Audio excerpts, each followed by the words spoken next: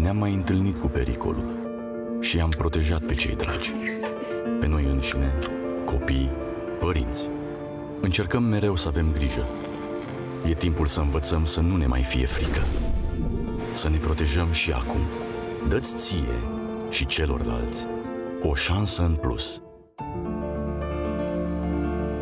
Om cu om, oprim pandemia.